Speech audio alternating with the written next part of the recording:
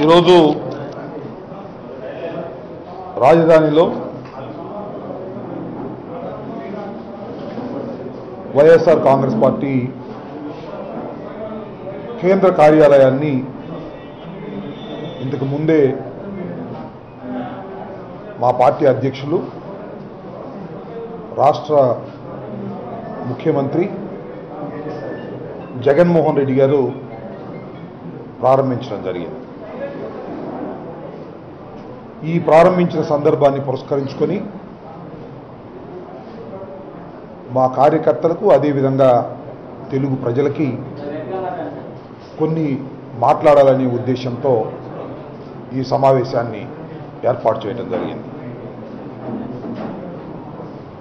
ప్రధానంగా doctor YS Rajasekhara Reddy గారి మరణం తరువాత చాలా అనూహ్యమైనటువంటి పరిణామాల వలన కొన్ని ప్రత్యేక పరిస్థితుల్లో రెండు వేల పదకొండు రెండు వేల పదకొండవ సంవత్సరంలో మార్చి పన్నెండవ తారీఖున వైఎస్ఆర్ కాంగ్రెస్ పార్టీ ఆవిర్భవించడం జరిగింది. రాజశేఖర రెడ్డి గారి మరణం తరువాత నేటి వరకు కూడా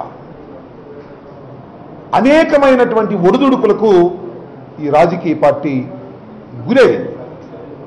అయినప్పటికీ కూడా మొక్కవోని ధైర్యంతో పార్టీని ముందుకు నడిపించుకుంటూ వెళ్ళినటువంటి యోధుడు జగన్మోహన్ రెడ్డి గారని ఈ సందర్భంగా చెప్పక తప్పదు. ఎందుకంటే ఆ తర్వాత రెండు వేల నాలుగులో రెండు వేల పద్నాలుగులో ఎన్నికలు జరిగితే అరవై ఏడు సీట్లను వైఎస్ఆర్ కాంగ్రెస్ పార్టీ గెలుచుకున్నది. దరిదాపుగా అధికారంలోకి వస్తుంది అనుకున్నటువంటి రాజకీయ పార్టీ ప్రధాన ప్రతిపక్ష పాత్రను పోషించవలసినటువంటి అనివార్యమైనటువంటి పరిస్థితిని ప్రజలు కల్పించారు. అయినప్పటికీ కూడా ప్రధాన ప్రతిపక్షంగా తన పాత్ర నిర్వహించడంలో ఎక్కడా కూడా వెనుదిరక్కోకుండా పోరాటం చేసినటువంటి రాజకీయ పార్టీ వైఎస్ఆర్ కాంగ్రెస్ పార్టీ. అరవై ఏడు మంది శాసనసభ్యుల్లో ఇరవై ముగ్గురిని చంద్రబాబు నాయుడు గారు ఎత్తుకు వెళ్ళారు. ఎత్తుకు వెళ్ళారు కొనుక్కు వెళ్ళారు దొంగిలించారు అన్నీ జరిగాయి. అలాగే ముగ్గురు పార్లమెంట్ సభ్యుల్ని కూడా అదేవిధంగా కొనుక్కున్నారు. చాలామంది అనుకున్నారు ఇలా చంద్రబాబు నాయుడు గారు చాలా జిత్తులు మారి ఈ వైఎస్ఆర్ కాంగ్రెస్ పార్టీని ఏదో ఒక విధంగా అణిచివేయగలుగుతాడు డబ్బు మదంతోనో లేకపోతే రాజకీయ ఎత్తుగళ్ళతోనో కుతంత్రాలతోనో కుళ్ళుతోనో ఈ రాజకీయ పార్టీని అంతం చేస్తాడనేటువంటి భావించారు చాలామంది. కానీ ఎక్కడా కూడా ఎంతమంది పార్టీని వదిలి వెళ్ళినప్పటికీ కూడా జగన్మోహన్ రెడ్డి గారు తన రాజకీయంలో తనకున్న పాత్ర నిర్వహించటంలో విజయవంతమై పాదయాత్ర చేసి మళ్ళా తిరిగి ఈ రాష్ట్రంలో తిరుగులేనటువంటి అధికారాన్ని సాధించినటువంటి పరిస్థితులు మనం చూసాం ఎందుకు ఈ విషయాన్ని నేను చెప్తున్నానంటే చంద్రబాబు నాయుడు గారు అనేకమైనటువంటి జిత్తులు వేశారు ఈ పార్టీని నాశనం చేయాలని. అయినప్పటికీ కూడా ప్రజల ఆశీస్సులతో ఈ పార్టీ ముందుకు వెళ్ళినటువంటి విషయాన్ని సందర్భంగా గుర్తు చేసుకోవాల్సినటువంటి అవసరం ఉంది. అంతేకాదు చంద్రబాబు నాయుడు గారు కాంగ్రెస్ పార్టీ కలిసి జగన్మోహన్ రెడ్డి గారిని ఎంత వేధించిందో పదహారు మాసాలు జైల్లో పెట్టిందో ప్రజలందరికీ విదితమైంది ఆ కుటుంబాన్ని ఎన్నో రకాలుగా ఇబ్బందులు గురి చేసినప్పటికీ కూడా పార్టీని నడిపించటంలో ఎక్కడా కూడా వెనకడుగు వేయకోకుండా తీసుకువెళ్ళినటువంటి యోధుడు జగన్మోహన్ రెడ్డి గారు. ఎందుకని ఈ విషయాన్ని చెప్తున్నానంటే చాలా పార్టీలు వచ్చాయి రాజకీయాల్లో. ఆంధ్రప్రదేశ్లో చాలా పార్టీలు వచ్చాయి. ప్రారంభమయ్యాయి. ఎన్నికల్లోకి వెళ్ళాయి. ఓడిపోయాయి. ఆ తర్వాత కొన్ని రాజకీయ పార్టీల్లో కలిసిపోయాయి. కొన్ని అయితే ప్రారంభించబడ్డాయి. ఎలక్షన్ తర్వాత అదృశ్యమైపోయాయి. కానీ ఎక్కడా కూడా వెనుదెరుక్కోకుండా వెళ్ళినటువంటి ఏకైక రాజకీయ పార్టీ వైఎస్ఆర్ కాంగ్రెస్ పార్టీ అని ఈ సందర్భంగా నేను చెప్పక తప్పదని మనం చేస్తున్నాను నిజంగా ప్రజలు ఆంధ్ర రాష్ట్ర ప్రజలు డాక్టర్ వైఎస్ రాజశేఖర రెడ్డి గారు మరణించిన తర్వాత నిజంగా ప్రజలంటే మేమంతా అనుకుంటాం ఇది ఒక కుటుంబం లాంటిది.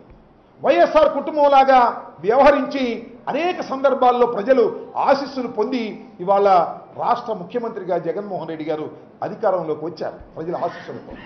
ఈ సందర్భంగా నేను మనవి చేస్తున్నా. ఇంకా ఎక్కువ కాలం కూడా కాల అప్పుడు చంద్రబాబు నాయుడు గారు ఏవేవో మాట్లాడుతున్నారు. మా మీద బురద జల్లేటటువంటి కార్యక్రమం చేస్తున్నారు. ఒక అబద్ధపు ప్రచారాన్ని విరివిగా చేయడం ద్వారా వైఎస్ఆర్ కాంగ్రెస్ పార్టీ పాలన మీద బురద జల్లే కార్యక్రమాన్ని ప్రారంభించాడు చంద్రబాబు నాయుడు గారు. ఈ సందర్భంగా నేను చెప్పదలుచుకున్నది ఏమిటంటే వైఎస్ఆర్ కాంగ్రెస్ పార్టీ ఆవిర్భవించిన తర్వాత అనేక ఒడిదుడుకులను ఎదుర్కొన్న తర్వాత అధికారంలోకి వచ్చినటువంటి వైఎస్ఆర్ కాంగ్రెస్ పార్టీ ఒక చిత్తశుద్ధితో కూడినటువంటి పరిపాలన అందించాలనేటువంటి దృఢ చింతనతో ముందుకు వెళుతున్నది. రెండవది అవినీతి రహితమైనటువంటి పాలన అందించాలనేటువంటి భావనతో వాళ్ళ పరిపాలన జరుగుతూ ఉన్నది. ఎంతో చిత్తశుద్ధిగా పరిపాలన చేస్తున్నాం. చంద్రబాబు నాయుడు గారు అద్భుతమైన అబద్ధాలు అల్లి మా మీద బురదల్లే కార్యక్రమం చేస్తున్నారు. మీకు ఈ సందర్భంలో ఒక విషయాన్ని గుర్తు చేస్తాను. ఆశా వర్కర్లకు సంబంధించి చంద్రబాబు నాయుడు గారు ఒక ట్వీట్ చేశారు. మీరందరూ కూడా చూసే ఉంటారు ప్రజలు కూడా చూసే ఉంటారు. ఆశా వర్కర్లకి మూడు వేల నుంచి పదివేల రూపాయలు జగన్మోహన్ రెడ్డి గారు పాదయాత్ర సందర్భంగా పెంచుతానని హామీ ఇచ్చి అధికారంలోకి వచ్చిన తర్వాత పదివేల రూపాయలు చేస్తే ఇంప్లిమెంటేషన్ కొన్ని కారణాల వల్ల లేట్ అయ్యింది. లేట్ అయితే ఈ ట్విట్ పెట్టాడు చంద్రబాబు నాయుడు గారు. పైన జగన్మోహన్ రెడ్డి గారి ఫోటోకి పాలాభిషేకం చేస్తున్నట్టు కింద ఎప్పుడో తెలంగాణలో రెండు వేల పదిహేనులో జరిగినటువంటి ఒక ఉద్యమంలో ఆ ప్రాంతంలో ఆ ప్రభుత్వానికి వ్యతిరేకంగా జరిగినటువంటి ఫోటోని మ్యాచ్ చేసి అప్పుడు ఇప్పుడు అని మాట పెట్టి ప్రజల్ని మభ్యపెట్టాలనేటువంటి ప్రయత్నం చేశారు. నేను అడుగుతా ఉన్నా చంద్రబాబు నాయుడు గారు మీకు సిగ్గేమని అనిపించడం లేదా? ఈ రాష్ట్రానికి ముఖ్యమంత్రిగా చేశారు. అబద్ధాలు అల్లి పిట్టులు పెట్టి జగన్మోహన్ రెడ్డి గారి మీద బురదలాలనేటువంటి ఒక కుట్రపూరితమైన వాతావరణంలో మీరు ఇవాళ పనిచేస్తున్నందుకు మీకు సిగ్గా లేదా అని అడుగుతా ఉన్నా. అంతేకాదు బందర్ పోర్టు వ్యవహారం వచ్చినప్పుడు బందర్ పోర్టును తెలంగాణకు మేము అప్పచెబుతున్నామని కేసీఆర్కి అమ్మేస్తున్నామని ప్రచారం చేశారు. ఏమిటి నాకు అర్థం కాలేదు ఇది? ఇవాళ కూడా ఏదో పత్రికల్లో చూశాను. బందర్ పోర్టుని ఈ ప్రభుత్వమే నిర్మిస్తుంది అని పదే పదే మంత్రి గారు చెప్తున్నారు. శాసనసభలో ప్రశ్న అడిగితే ఆ ప్రశ్నకు కూడా సమాధానం చెప్పారు. అయినా తెలంగాణకు అమ్మేస్తున్నారు తెలంగాణకు అమ్మేస్తున్నారు అనేటువంటి ఒక అబద్ధపు ప్రచారం చేసి బురద జల్లాలనేటువంటి ప్రయత్నం చంద్రబాబు నాయుడు గారు చేయడం చాలా దారుణమైనటువంటి అంశంగా నేను ఈ సందర్భంగా చెప్పదలుచుకున్నాను. అంతేకాదు చాలా చాలా విషయాలు మాట్లాడుతున్నారు చంద్రబాబు నాయుడు గారు. చంద్రబాబు నాయుడు గారు అంటున్నారు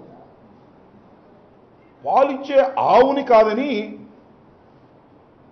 తన్నే దున్నను తెచ్చుకున్నారు ప్రజలు అనేటువంటి మాట మాట్లాడుతున్నారు. ఆయన మాట్లాడుతున్నారు. అంటే ఆయన పాలిచ్చే ఆవట మేమేమో తన్నే దున్నమట.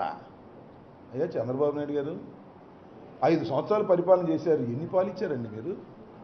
ఎవరికి ఇచ్చారంటున్న పాలు? ఎవరికి ఇచ్చారు మీరు పాలు? మీ పాలు దాగి ఎంతమంది బలిశారో చూశారా? ప్రజలు మాత్రం ఎవరో బలవలా.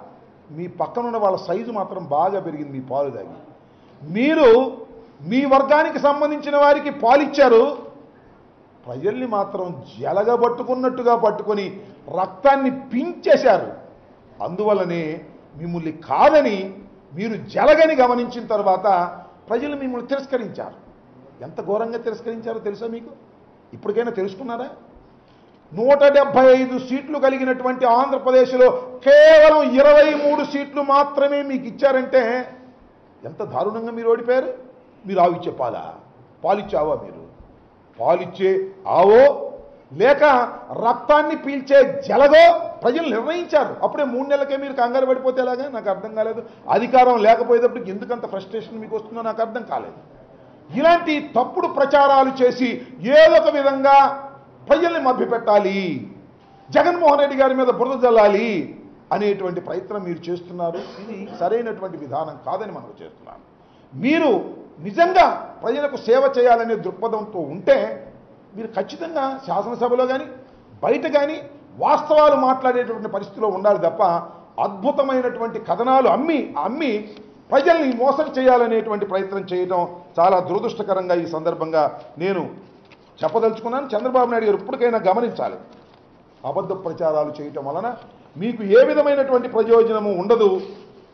ప్రజలు మిమ్మల్ని నమ్మరనే విషయాన్ని కూడా మీరు గమనించాలి. చంద్రబాబు నాయుడు గారు తత్వం తెలిసినటువంటి వారు అందరికీ చాలామందికి తెలుసు.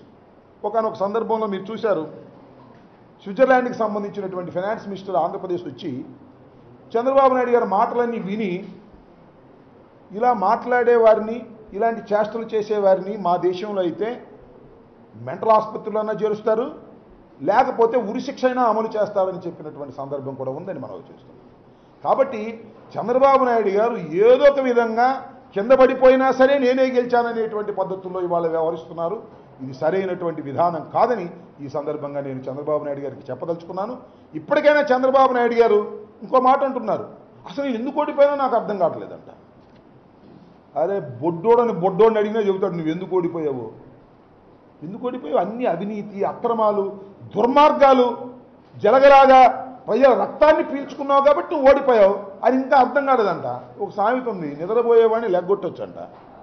నిద్రపోతూ ఉన్నట్టుగా నటించేవాడిని మనం ఎవరూ లెగ్గొట్టలేము. వాడు నిద్రపోతున్నాడు నటిస్తుంటాడు ఎన్ని కొట్టినా కూడా లేకపోవడం అలాగే చంద్రబాబు నాయుడు గారికి నిజంగానే తాను ఎందుకు ఓడిపోయాడో తెలియకపోతే మనం చెప్పొచ్చు. అన్నీ తెలిసే నేను ఎందుకు ఓడిపోయాను నాకు అర్థం కావట్లేదు అంటే ఈవీఎంలో మోసం జరిగిందనే? లేకపోతే అదేదో చెప్తున్నాడు గోదావరి నీళ్ళు తాగారంట కానీ చంద్రబాబు నాయుడు గారు ఓటేయలేదంట పాలు తాగారు కానీ చంద్రబాబు నాయుడు గారు ఓటేయలేదట ఇలాంటి పిచ్చి మాటలు మాట్లాడి ప్రజల్ని మభ్యపెట్టేటటువంటి ప్రయత్నం చంద్రబాబు నాయుడు గారు చేస్తున్నారు. వాస్తవాలని చంద్రబాబు నాయుడు గారు ఇప్పటికైనా గమనించాలి ప్రధాన ప్రతిపక్ష నాయకులు. అదేవిధంగా ఇప్పటికైనా జగన్మోహన్ రెడ్డి గారు ఒక చక్కని పరిపాలన అందిస్తున్నప్పుడు ఈ పరిపాలనని మీరు మెచ్చుకోలేకపోతే మెచ్చుకోలేకపోయారు కానీ దీని మీద బురదదల్లే కార్యక్రమాలు చేస్తే ప్రజలు క్షమించరు ప్రజాస్వామ్యంలో.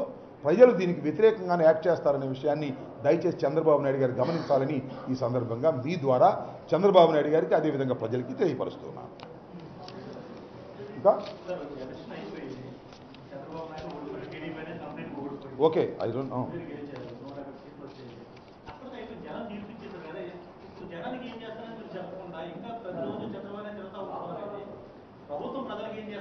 ప్రశ్న ప్రశ్న నువ్వు క్లుప్తంగా అడిగితే నేను సమాధానం చెబుతా ఇప్పుడు ప్రజలకి ఏం చేస్తున్నామో మేము చెప్పకోకుండా చంద్రబాబు నాయుడు గారిని మేము దూషిస్తున్నాం అనే మాట కరెక్ట్ కాదు బ్రదర్. ఎందుకంటే చంద్రబాబు నాయుడు గారు మాట్లాడిన మాటలకి మేము సమాధానం చెప్తున్నాం నెంబర్ వన్. ప్రజలకి ఏం చేస్తున్నామో మేము చెప్పకపోవటం ఏమిటి? ఎన్ని పథకాలు మేము ప్రవేశపెట్టాం? జగన్మోహన్ రెడ్డి గారు అధికారంలోకి వచ్చిన తర్వాత ఆశా వర్కర్లకు మూడు వేల నుంచి ఐదు వేలు పెట్టాం. అమ్మఒడి కార్యక్రమం ఆరోగ్యశ్రీ కార్యక్రమం ఎన్ని కార్యక్రమాలు ఉన్నాయి? నేను ఒకటే మనవి చేస్తున్నా. మూడు నెలల్లో జగన్మోహన్ రెడ్డి గారు అధికారంలోకి వచ్చిన తర్వాత అసెంబ్లీలో ఎన్ని బిల్లులు ప్రవేశపెట్టాం? ఎన్ని కార్యక్రమాలను మేము ప్రాక్టికల్గా ఇంప్లిమెంట్ చేస్తున్నాము? ఇవి మేము ప్రత్యేకంగా మీకు చెప్పలేదనుకుంటే ఎలాగా? అయితే చంద్రబాబు నాయుడు గారు మాట్లాడినప్పుడు రాజకీయ విమర్శలు చేస్తాం. రాజకీయ విమర్శలు చేయకుండా ఎలా ఉంటాం? అంటే పని ఆగుతున్నదా ఈ రాష్ట్రంలో? ఈ రాష్ట్రంలో అనేకమైన కార్యక్రమాలు మేము మొదలుపెట్టాం అమలు చేస్తున్నాం. ఇంకా మీకు ఏమైనా సందేహాలు ఉంటే అడగండి. అంతే తప్ప మీరు చంద్రబాబు నాయుడు గారిని దూషిస్తే దూషించడం అనే ప్రశ్నే లేదు. చంద్రబాబు నాయుడు గారు మాట్లాడే ప్రతి మాటకి సమాధానం చెప్పవలసినటువంటి బాధ్యత అధికారంలో ఉన్నటువంటి వైఎస్ఆర్ కాంగ్రెస్ పార్టీకి ఉన్నది. సమాధానం చెప్పే క్రమంలోనే మేము చెప్తున్నాం తప్ప మరొకటి కానే కాదు ఆశా వర్కర్లకి మూడు వేలు మూడు వేలు పదివేలు ఎస్ మూడు వేల నుంచి పదివేలు సారీ నేను తప్పు మాట్లాడాము ఆశా వర్కర్లకి జగన్మోహన్ రెడ్డి గారు పాదయాత్రలో ఉన్నప్పుడు మూడు వేల రూపాయల నుంచి పదివేల రూపాయలు నేను పెంచుతాను అని చెప్పారు. దాని ప్రకారమే మూడు వేల నుంచి పదివేలకు పెంచారు. నేను అంటా ఉన్నా మూడు వేల నుంచి పదివేలు పెంచారంటే ఎంత పెంచారండి? దాన్ని అభినందించవలసినటువంటి బాధ్యత చంద్రబాబు నాయుడు గారికి లేదా? అది లేదు కానీ ఏదో ట్విట్లు పెట్టి దొంగ ట్విట్లు పెట్టి బురద జల్లే కార్యక్రమం చేస్తున్నారు. ఈ బురద జల్లే కార్యక్రమాన్ని తిప్పికొట్టేందుకే మేము చెప్తున్నాం. ఇంకా? ఓకే ఏంటండి? వీడియో నచ్చిందా? అయితే ఓ లైక్ వేసుకోండి. లేదంటే ఓ కామెంట్ చేయండి. ఎప్పటికప్పుడు మా వీడియోస్ చూడాలంటే సబ్స్క్రైబ్ చేసుకోండి.